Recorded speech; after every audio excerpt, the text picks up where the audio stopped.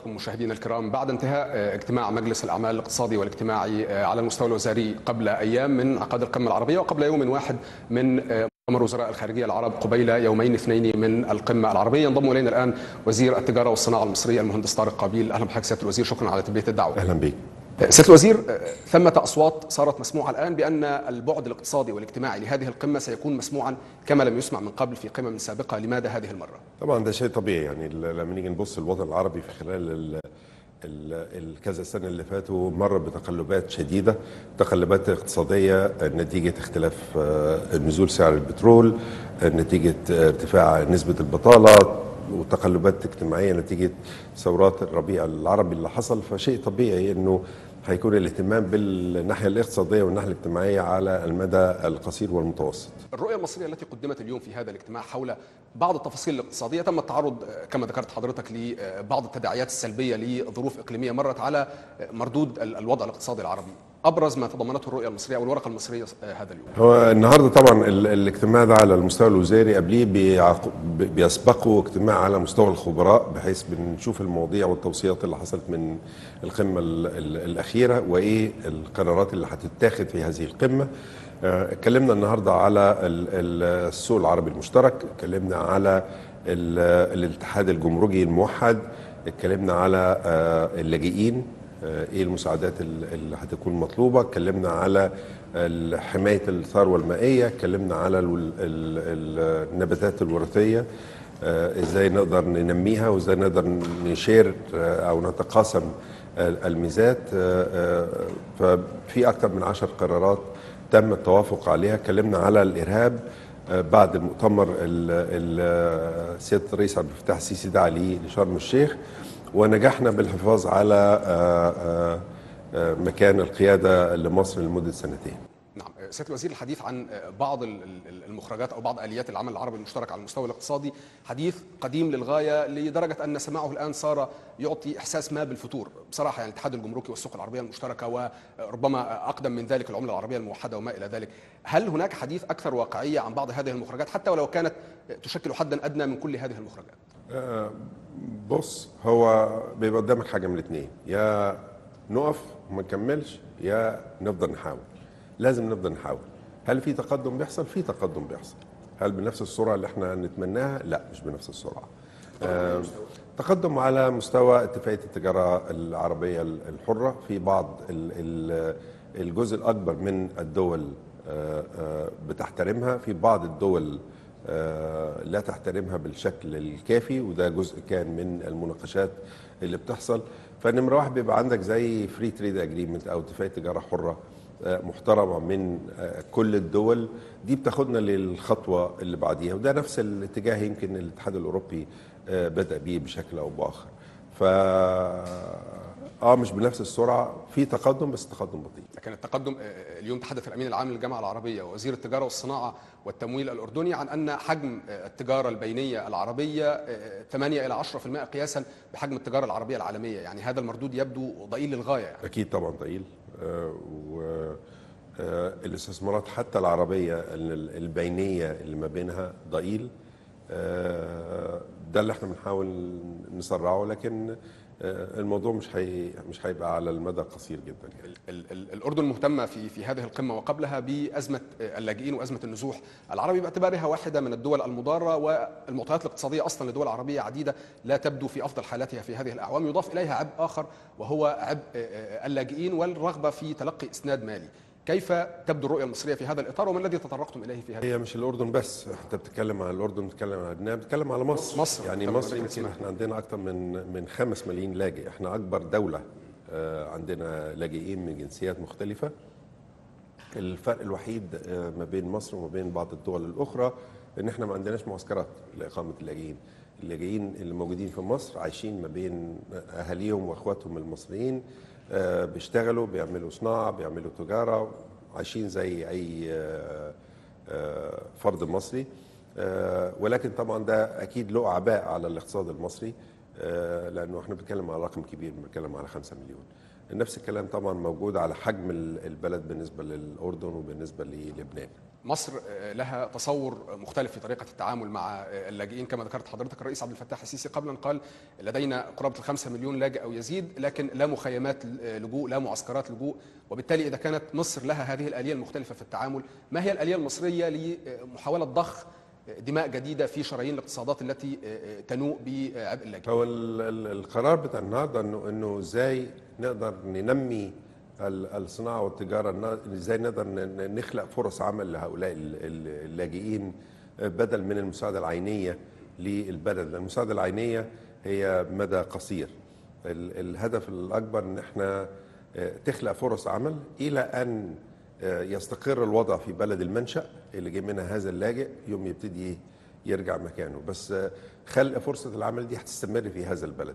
فده الاتجاه اللي إحنا اتكلمنا فيه من آه، بخصوص ملف اللاجئين طيب سياده الوزير بالعوده إلى إلى الإحصاء المرتبط بأن حجم التجارة البينية ومصر واحدة من الدول العربية الت- التي تعنى بهذا الشأن 8 إلى 10% ال- المسألة مرتبطة ب آه، آه، أن المنتج الذي يقدم عربيا ليس مغريا بما آه، يكفي ولا مرتبطة بإزالة بعض العقبات والعراقيل وكان هذا مطلب من بين ما تمت المطالبة به. هي العوائق ممكن تكون جزء وأعتقد إنه آه، مفيش الخطوة اللي بعض الدول المفروض تاخدها عشان تدور على المنتج. زي ما انت إحنا في مصر مثلا مدين أفضلية للمنتج المحلي فبنحاول نشجع الفرص إن إحنا ناخد من المنتج المحلي بدل ما نشتري من بره.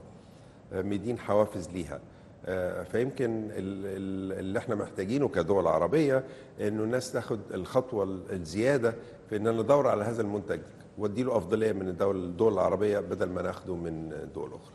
مصر آه، مصدرة ومستوردة. في علاقاتها بالدول العربية.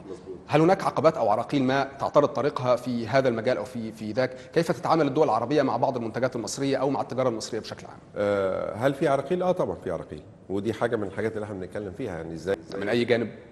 من جانب بعض بعض الدول يعني إحنا مثلا عندنا بعض العراقيل مع السودان السودان بتحط عراقيل آه، في آه، آه، لبعض المنتجات وقتية يا فندم في السودان ولا آه، تتسم بالدينونه؟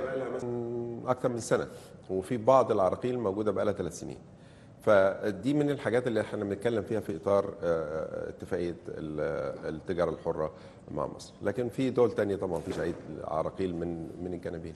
مستقبل التجارة العربية العربية آه، مبشر ولا آه، في ضوء المعطيات الآنية آه، لا ينتظر منه الكثير؟ بصراحة. أعتقد إنه أعتقد إنه هيبقى إيجابي أكتر منه سلبي من وجهة نظر حتى لها جزء التكلفة الاقتصادية وتكلفة ال- ال- النقل والشحن. آه، ولو زاد الاستثمار ال- التبادلي ال- العربي آه، مع كل دول ده هيكون حافز أكتر آه، لزيادة التبادل التجاري. إحنا مثلا من أرقامنا ال- الدول العربية مثلا هي تاني أكبر آه، شريك تجاري بعد الاتحاد الأوروبي والأرقام في نمو. فده ده مؤشر إيجابي يعني من الناحيتين سيادة الوزير أنا لا يمكن أن أكون في ضيافة حضرتك ولا أسأل عن واقع الاقتصاد المصري هل بدأنا خطوات التعافي ولا ليس بعد؟ لا أعتقد طبعا بدأنا خطوات التعافي آه، فرق كبير النهارده مثلا لما نيجي نبص على الصناعة آه، إلى حد كبير ما فيش مشكلة الحصول على العملة الصعبه إن هو يبدأ آه، يستورد مستلزمات إنتاجه. آه، قدرنا نخفض عجز الميزان التجاري في سنة واحدة بحوالي 18% 9 مليار دولار. آه، 7 مليار دولار تخفيض في آه، الواردات اللي الصناعة غطتها ودي ادت نمو كبير جدا للصناعة. زائد إن ال- الصادرات زادت ب 2 مليون دولار. فلما أجي أبص للنمو الصناعي نما بأكثر من 40% في آخر 3 4 شهور المؤشرات كلها إيجابية وماشية في الاتجاه الصح آه، وإحنا حاسينها يعني حاسينها في كل المؤشرات. قانون الاستثمار ال- ال- القانون القديم المتجدد صياغة وصياغة بديلة ورفض ومشروع قانون ومسوده قانون يناقشها مجلس الوزراء ثم تذهب لنقاش مجلس النواب إلى أين وصلنا في هذا الإطار وقانون الاستثمار في مخيلة وضعيه سيادة الوزير يخاطب المستثمر الأجنبي ولا يغري المستثمر الموجود في مصر لزيادة حجم استثماراته؟ بص قانون الاستثمار ما بي ما يركزش فقط على المستثمر الأجنبي قانون الاستثمار بيخدم زيادة نسبة الاستثمار في مصر طبعا بنفضل إنه يبقى يجي نسبة استثمار خارجي أعلى. آه، قانون الاستثمار حاليا بيناقش في البرلمان وده شيء صحي إنه لازم يكون في نقاش من كل المشاركين فيه عشان ما يبقاش في أخطاء آه، بعد كده نقدر آه، نتلافاها. من ناحية الصناعة مثلا إحنا حطينا في قانون الاستثمار حوافز معينة لصناعات معينة لأماكن معينة ودي حاجة من الحاجات ال- المهمة اللي إحنا هتشجعنا على ترشيد الواردات في خلال المرحلة الجاية ونموها وزائد تنمية الصعيد يعني حوافز الصعيد هتكون أعلى من الحوافز الأخرى لأن دي منطقة إحنا عايزين ننميها حديث البعض عن حضرتك باعتبارك وزير صناعة أكثر من من كونك وزير تجارة باعتبار أن الصناعة ربما تشكل ركيزة آه، آه، أي نهضة لأي دولة والنماذج أكبر من أن تحصى. النشاط الصناعي حضرتك وضعت أربع محاور للتنميه، أربع محاور صناعية لخطة تنمية آه، شاملة. ما هي المعايير أو الاعتبارات التي وضعت لاختيار هذه الصناعات تحديدا؟ هي ده جزء من استراتيجية الصناعة. هو بداية صحيح إن حضرتك وزير صناعة أكثر من تجارة ولا؟ والله ده رأيك. لا أنا أنا قلت نقل عن البعض أنا أنا مسؤول عن آه، ملفين كبار الاثنين مهمين آه، الصناعة والتجارة الخارجية. التجارة الخارجية آه، ليس فقط الاستيراد وال- وال- والتصدير لكن فيها اتفاقات دولية وفيها علاقات ما بين دول. فالاثنين طبعا لهم أهمية وبيخدموا بعض. عشان كده هم في وزارة واحدة. استراتيجية الصناعة تم آه، آه، آه، وضعها منذ فترة واتعملت لها تقديم لكل رجال الأعمال وكل واتحاد الصناعات والمصدرين وخلافه وتم آه، تقديمها كمان لسيادة الرئيس. استراتيجية الصناعة بتقوم بتقوم على آه، آه، تحليل الواردات اللي أنا بستوردها حاليا بتقوم على النمو السكاني إحنا النهارده 92 مليون نسمة بعد 10 سنين هنبقى 102 بعد خمس سنين هنبقى 102 إحنا عندنا 10 مليون نسمة زيادة. دول بيحتاجوا آه، شقق يعني بناء وتشييد بناء واسكان بيحتاجوا ملابس بيحتاجوا آه، غذاء. فعشان كده التوسع للواحد ونص مليون فدان والميكنه بتاعتهم هت- هتفيد كتير. بيحتاجوا أشياء كتيرة جدا. زائد إيه هي الصناعات اللي أنا عايز أعمقها آه، في مصر؟ أنا لما أجي أبص على أنا قلت لك إحنا مثلا آه، وفرنا آه، 7 مليار دولار صادرات. 7 مليار صادرات لما أجي أبص لكل المنتجات الأخرى اللي إحنا ممكن نوفرها بنتكلم على 9 مليار. معنا وفرنا سبعة منهم. فاضل لنا اثنين هنوفرهم. ولكن المرحلة الجاية هتكون أصعب من الناحية دي لأنه هنبتدي نخش في تعميق الصناعة وتعميق تصنيع المواد الخام والسلع الوسيطة اللي أنا بجيبها من بره. ودي بتمثل حوالي 39% ده ده ال- ال- الفكر بتاع هذه الصناعة. منها في صناعات آه، آه، ذات الجاهزية للتصدير. عندنا صناعات غذائية عندنا حصلات زراعية عندنا مواد بناء عندنا انجينيرنج هندسية عندنا غزل ونسيج وخلافه. في بعض الصناعات إلى حد كبير معمقة زي مثلا الصناعات الغذائية. آه، آه، فمن هنا بعد التحليل في أربع صناعات أساسية عايزين نركز عليها أكتر آه، في خلال الفترة الجاية. فاحنا بنبص على إيه؟ بنبص على حزمة عامة لكل الصناعات لأن ما أقدرش مش معنى بقول أنا بركز على صناعة يعني بهمل صناعة أخرى لا. ففي حزمة عامة بت- بتساعد كل الصناعات. الحزمة العامة دي داخل فيها حزمة تشريعية آه، مثلا قانون الترخيص اللي توافق عليه في البرلمان ده بيخدم كل صناعه آه، آه، قوانين قانون سلامة الغذاء آه، قانون شركة الشخص الواحد. آه، كل التشريعات آه، برنامج رد الأعباء ل- للصادرات. ده كل ده بيخدم كل الصناعات الأراضي الصناعية وتوفيرها بسعر آه، قليل. ده بيخدم كل الصناعات ففي حزمة عامة بتخدم كل الصناعات التجمعات الصناعية زي ودمياط ومرغم من مصانع البلاستيك دي كلها بتخدم سيكتورز معينة من الصناعات وإحنا بنتوسع في هذه ال- المنظومة. سيادة الوزير آه، عفوا حديث حضرتك عن صناعة الغزل والنسيج تحديدا فتح الباب أمام تساؤلات هل هناك آه، رغبة من الدولة الدولة مجملها أن تعيد مرة أخرى الهيبة لهذه الصناعة لأن ما صدر من أفكار على مدى سنوات طويلة على مدى العقد الأخير بأنها صناعة أثقلت كاهل الدولة بأعباء كبيرة وبأن أصلا زراعة الأقطان في مصر لم تعد محل اعتبار بما يكفي. وبالتالي لماذا الحديث عن صناعة الغزل والنسيج في هذه الاستثمار هجاوب عليك بس لازم أخلص إجابة السؤال الأولاني اللي أنت سألتني. ال- فمن هنا دي الحزمه اللي إحنا بن- بنوفرها لكل الصناعات بتيجي بعد كده حزمه انتقائية داخلة على صناعات محددة بعينها زي الصناعات الهندسية زي الغزل والنسيج زي مواد البناء آه، آه، بنركز فيهم ببرامج محددة. يعني إحنا عاملين مثلا استراتيجية صناعة المركبات ده جزء من ال ال الهندسية. دي عشان أبتدي أقوم صناعة معينة بعينها لأن إحنا شايفين إن لها بعد آه، استراتيجي آه، كبير. آه، مساندة هذه الصادرات لأفريقيا. إحنا بندي مثلا مساندة معينة للشحن الافريقيا وهكذا. فهتلاقي الأربع صناعات اللي أنا بتكلم عليهم دول هيكون فيهم تركيز أكبر من الناحيه التشريعية ومن ناحية آه، آه، جذب الاستثمارات. الأربع صناعات دول جزء كبير منهم هتلاقيهم موجودين في قانون الاستثمار لأن دي الصناعات اللي أنا عايز اكسبها أرجع لسؤالك الثاني اللي هو الخاص بالغزل والنسيج الغزل والنسيج واحدة من الصناعات الهامة جدا آه، لمصر. ليه؟ لأن دي الصناعة الوحيدة اللي أنا عندي فيها اسم. آه، كل الناس بت بت بتعمل صناعات كيماوية كل الناس بتعمل صناعات أخرى. الغزل والنسيج عندي حاجة اسمها القطن المصري. القطن المصري إلى حد كبير جدا اسمه معروف في العالم وقيمته معروفة في العالم. اللي حصل في خلال ال- الفترة اللي فاتت يمكن لم يتم التركيز على صناعة الغزل والنسيج آه، غزل والنسيج صناعة معقدة لأنها بتبدأ من أول زراعة القطن وجودته إلى المحالج إلى الغزل إلى النسيج إلى الصباغة إلى الملابس الجاهزة فهي سيكتورز آه، عديدة. آه، يمكن في خلال الكذا سنة اللي فاتت نقصت ال- الأرض المنزرعه المزارعة. آه، وصلنا يمكن السنة اللي فاتت لحدود بس 130 ألف فدان. ده رقم قليل جدا. وفي نفس الوقت ما كانش بيتم الصرف الكافي على تحسين الجودة بتاعه بذرة القطن عشان نقدر نحافظ عليها على نفس المستوى.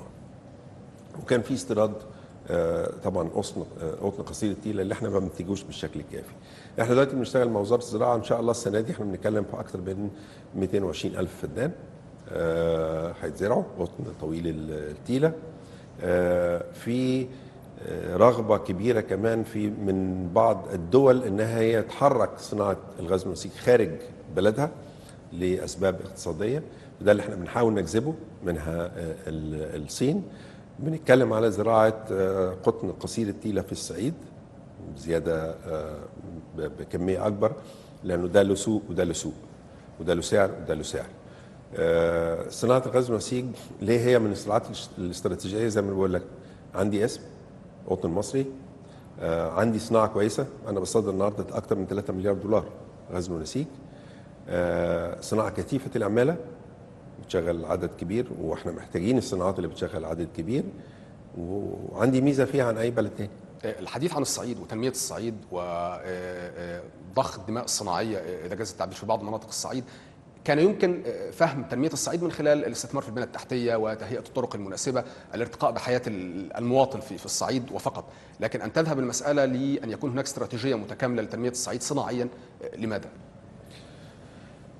أي استراتيجية في الدنيا لازم تكون استراتيجية متكاملة ما تقدرش تمسك جزء فيها. إحنا يمكن اتكلمنا على الصعيد كتير واتعمل شغل كتير من ال- الوزارات ال- ال- السابقة. يمكن دلوقتي بنحاول نعمل شيء إلى حد كبير متكامل. آه، القرار بتاع سيادة الرئيس إن إحنا ننشئ هيئة تنميه الصعيد ده حاجة آه، رائعة لأن هي بت بت بتضم أو بتعمل تنسيق لكل المجهودات لأنه ما هيش الصناعة بس. أنا بشتغل في الصناعة الزراعه عامل كبير جدا مليون ونص فدان كلهم في الصعيد. آه التجارة كل الوزراء الآخرين كل واحد له جزء في هذه ال- الاستراتيجية. بالنسبة لل- للصناعة إحنا في مشاكل في البنيه التحتية إحنا بنشتغل فيها. يعني في قرض مثلا 500 مليون آه، ده هيبقى فيه جزء بنية تحتية وهيبقى فيه جزء صناعة. آه، ده بالتعاون مع وزارة التعاون الدولي والتنميه المحلية. هنعمل فيه آه، زي ابجريد أو تطوير لأربع مناطق آه، صناعية كبيرة في قنا وفي سوهاج. آه، بنشتغل دلوقتي قريب جدا إن شاء الله تسمع عن طرح ال 200 مصنع في كل محافظة اللي سيادة الرئيس اتكلم عليهم ده للصناعات الصغيرة. لكن زي ما أنا بتكلم عن الصناعات الصغيرة أنا محتاج إن أنا أجذب الصناعات المتوسطة والكبيرة ودي ليها من الأهمية زي ال- ال- الصناعات الصغيرة. لأن ال- ال- الصانع الكبير أو المصانع الكبيرة والمتوسطة ما تقدرش تعمل كل شيء لوحدها. دي بيبقى وراها زي بنسميها feeding industries أو صناعات مغذية. آه، دي بتشغل لي كل الصناعات ال- ال- الصغيرة. دي مهمة جدا. الشق الثاني ودي ودي موجودة في حوافز قانون الاستثمار بالصناعة بالمكان. الشق الثاني واللي إحنا اشتغلنا عليه وده يمكن آه، أول مرة يتعمل الخريطة الاستثماريه الخريطة الاستثماريه آه، إحنا خلصناها للصعيد موجودة دلوقتي على ال website بتاع الوزارة ومتعمل لها update على طول. إيه فكرة الخريطة الاستثماريه النهارده آه، إحنا ما كانش عندنا قبل هذه الخريطة آه، معرفة واقعية بحجم المناطق الصناعية كم مصنع فيه إنتاجه قد إيه كم عامل إيه الصناعات المغذية لكل مصنع من دول. إحنا عملنا team أكتر من 25 فرد قعدوا أربع شهور اللي زاروا واشتغلوا في الصعيد بالكامل السبع محافظات اللي إحنا حطيناهم في ال- ال website. بيروحوا بيرفعوا المنطقة الصناعيه بيشوفوا ال- المصانع اللي شغالة آه، بيشوف مدخلات الإنتاج بتاعته. لأنه أنا مثلا أدي لك مثال صغير في منطقة مثلا فيها أكتر من 18 آه، مصنع أساس. المصانع دي لها مدخلات إنتاج. مثال غيره بيجيبوا الغيره منين؟ كله بيجيب من مصر. مسامير. بيجيبوا المسامير منين؟ كله بيجيبوا من القاهرة. طيب هل هذا الحجم يكفي فرصة استثمارية؟ آه. من هنا بنخلق هذه الفرص الاستثمارية. فالهدف إن يكون في إلى حد ما تكامل في سواء في المنطقة أو في المحافظة أو على مستوى الصعيد. فالفرص الاستثمارية كلها جت بشكل واقعي من ال- الكلام مع كل مصنع شغال. فالنهارده عندنا فكرة واضحة تماما عن كل المصانع اللي موجودة في الصعيد حجم إنتاجها إيه المواد الخام اللي بتستعملها بتجيبها منين مستوردة ولا محلية ولو محلية منين إيه الفرص الاستثمارية اللي إحنا عايزين نعملها عشان نقدر نخلق هذا التكامل. فدي خلصت لمحافظات الصعيد وإحنا بدأنا نشتغل فيها على آه، إن شاء الله على أغسطس هتكون مصر كلها عندنا خريطة استثمارية واضحة. هذه الخريطة الصناعية بعد كده إحنا بنديها لوزارة الاستثمار آه، وزير الزراعة بيدي الجزء ال- الخريطة الزراعية آه، وهكذا بحيث يكون عندنا خريطة استثمارية لمصر كلها طيب سيادة الوزير آه، العقبتان الأساسيتان اللي البعض كان يتحدث عنهما تجاه استقبال استثمارات أجنبية قانون الاستثمار وأزمة النقد الأجنبي. قانون الاستثمار هو في طور الإعداد أو ينتظر أن يرى النور قريبا وأزمة النقد الأجنبي يفترض أنها انتهت وتوفرت من خلال تحرير سعر الصرف. ما الذي يتبقى من عقبات ولماذا وتيرة استقبال استثمارات أجنبية ليست بالقدر المن- المنتظر؟ يعني خلينا أقول لك برضو حاجة لما تيجي تكلم كل المستثمرين قانون الاستثمار ما بيجيش واحد من أول خمسة. يعني جميل إن يكون في استثمارات آه، إن يكون في حوافز آه، لكن مش ده العائق الأول للاستثمارات. العائق العائق الأكبر للاستثمارات البيروقراطية وأسلوب العمل في هذا البلد. كمستثمر أجنبي لما أجي أبص عليه. آه، مثال. البيروقراطية مفترض إن القانون ينهيها أو يتعامل معها على. لا ما فيش قانون بينهي البيروقراطية كلها. البيروقراطية دي اتبنت على سنين ف... فموجودة في حاجات كتيرة جدا. بس أنا هدي كمثال على الاقل خاص بالصناعة يعني ده اللي أنا أقدر أتكلم عليه. يعني, يعني آه، مثال التراخيص التراخيص الصناعية. أنا النهارده عايز أجي مستثمر أجنبي ببني مصنع. آه، البنك الدولي بيقول إحنا بناخد 634 يوم ندي رخصة صناعة. طب هل ده عائق للمستثمر؟ هل ينفع مستثمر إن أنا أقعد 634 يوم سنتين عشان آخد رخصة؟ عشان أبتدي أشتغل؟ ده جزء من ما هو ده فلوس تأخير يعني فلوس ويعني آه، عقبات بتتحط في طريق هذا الاستثمار آه، عشان كده إحنا عملنا قانون التراخيص الجديد اللي هينزل لي الكلام ده لأقل من شهر ليه لأنه أنا قانوني الحالي آه، قبل ما القانون الجديد يصدر كل صناعة في مصر محتاجة موافقة مسبقة بغض النظر عن حجم المصنع يعني مصنع فيه 10 عمال آه، آه، لغزل ونسيج بعامله بنفس الطلبات زي ما أنا بعامل مصنع فيه 6000 عامل. ما ينفعش الصغير ما بيقدرش. عشان كده اتخلق حاجة اسمها قطاع غير رسمي لأن أنا مش عايز أظهر في النور. لما بظهر في النور أنت بتحط لي عقبات فالنهارده هنحط إن شاء الله 80% من الصناعات هتاخد ال- الرخصة بالاختار الصناعات الخطرة اللي إحنا حددناها دي اللي هتاخد رخصة آه، بتصريح مسبق. آه، صناعات petrochemicals صناعات آه، لها تأثير سواء بيئي أو من ناحية ال- السلامة. أنا بدي ده كمثال. في عقبات أخرى كتيره إحنا بنحاول نعملها من خلال ما يسمى تحسين مناخ الأعمال أو doing business لأن هي العملية ما هيش قانون واحد أو أو شيء واحد.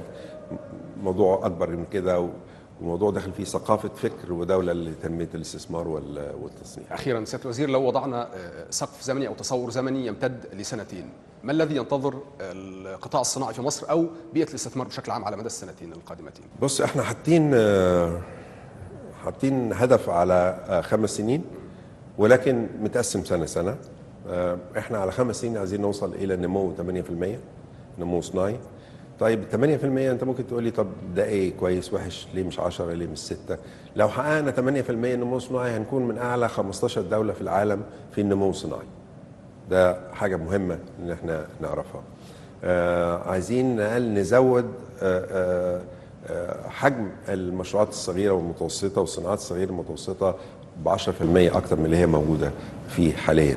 عايزين نقلل عجز الميزان التجاري ب 50% آه وده يعني إيه؟ يعني تقليل واردات أو زيادة الصادرات أو الاثنين. آه وفي نفس الوقت في التدريب لها أهداف التدريب آه المهني.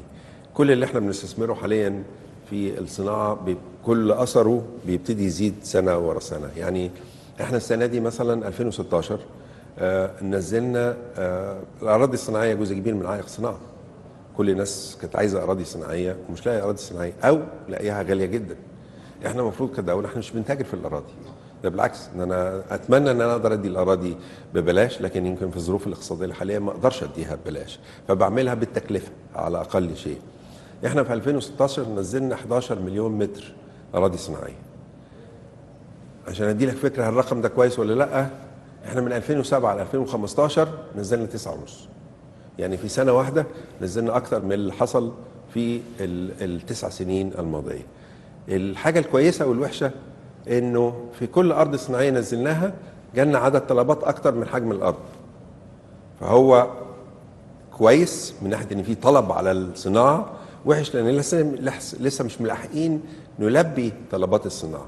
معنى هذا الكلام إيه؟ معنى هذا الكلام إنه في طلب كبير على الصناعة. النهارده الناس بدأت تتحول من التجارة إلى الصناعة آه وده مهم جدا لاقتصاد البلد. ده واقع ملموس تحول البعض من النشاط التجاري للنشاط الصناعي. طبعا وموجودة في sectors معينة. يعني يعني في ناس كتيرة في صناعة الأساس تحولوا من هنا لهنا. في الجلود في آه يعني sectors كتيرة أنا عارفها بالتحديد. كل مصنع بندي له موافقة صناعية النهارده السنة الجاية تأثيره بيبان. المصنع ادينا له موافقة السنة اللي فاتت تأثيره بنبتدي ناخده السنة دي وهكذا فإحنا بنتوقع إن النمو الصناعي إن شاء الله يزيد سنة عن سنة. كان بودي أن يطول الحوار أكثر من ذلك لكن أنا أعلم ارتباطات حضرتك شكرا جزيلا لحضرتك أشكرك. الشكر موصول لحضراتكم أيضا على طيب متابعتكم كنت معكم أحمد أبو زيد من البحر الميت بالأردن إلى اللقاء.